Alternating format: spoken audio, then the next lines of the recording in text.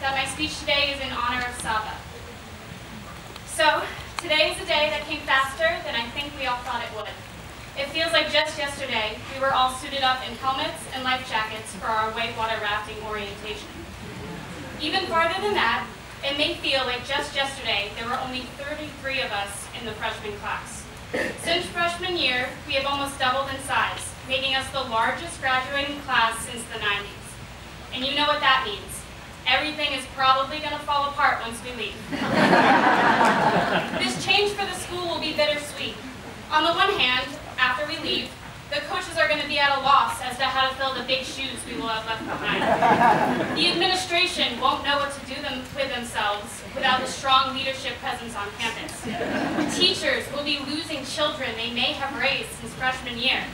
It will be very drastic and upsetting. But on the other hand, we're out of here, so we're really pumped. First, I want to talk a little bit about my own journey here. I have personally experienced the difference a private school education can make, both academically and socially. Academically, I struggled a lot in public school. In elementary and middle school, I was significantly behind my classmates in all sectors of education, and this concerned my parents. Like many people with learning disabilities, academic struggles became a focal point of my childhood. I began seeing a tutor when I was in second grade, and after five years of working together, Robin became a family friend. However, just because we were close didn't mean I made it easy for her. There were many times I would sit at her kitchen table and pout or even cry with frustration at the work in front of me.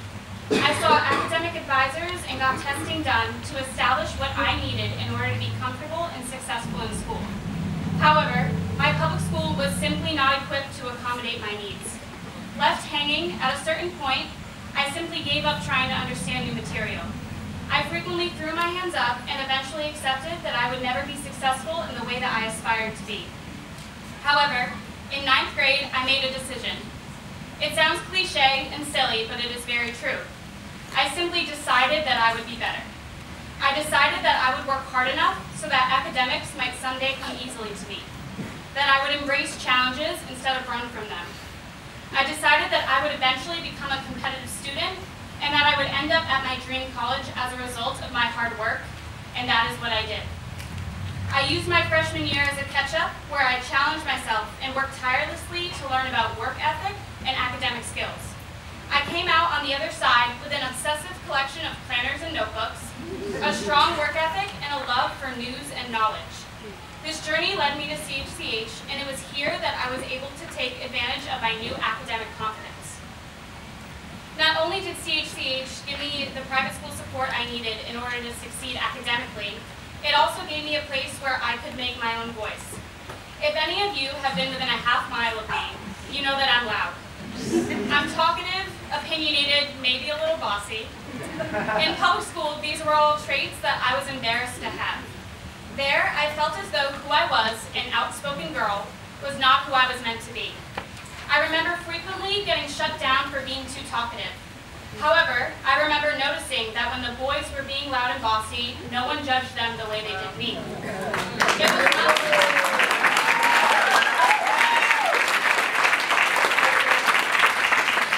it was not until CHCH that I realized that I was meant to be talkative. I realized that I wasn't loud, I just had things to say. I realized that my fear of being bossy had transformed into my desire to be a boss. Oh,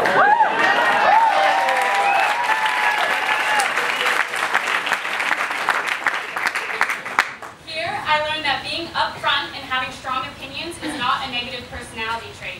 In fact, I realized that as women, we are almost obligated to be strong-willed and passionate about our interests, politics, and who we are. It is for these reasons that I will be eternally grateful that my parents were able to make a private school education attainable for me. Now, students, you can pay attention because I'm going to start talking about you. I believe that we as a class had the most fun. We all looked the best at prom, whether wearing a Batman suit, a space spaceman suit, or formal wear. We had awesome senior presentations consisting of Rubik's Cubes, hacks for hungry, hungry hippos, and strange drink concoctions. Families, you just had to be there.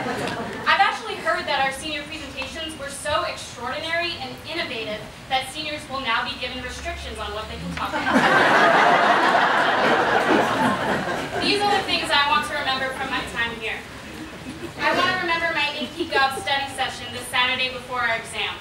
There's nothing that preps you for a test better than mildly spicy Costco chicken wings, Kahoot test, test, and McPhail finally saying something encouraging. We've seen each other through physical obstacles, torn ACLs, because Melanson is essentially one of us, broken bones, hey Gus, watch out for that bench.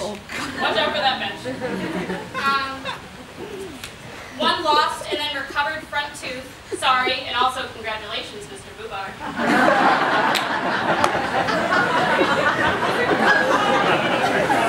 and a few head injuries on the way, which will now be referred to as the concussion epidemic of 2017. On a serious note, we've, we've watched larger obstacles come into full view. I want to acknowledge Malachi's senior presentations as one of the most memorable and impactful examples.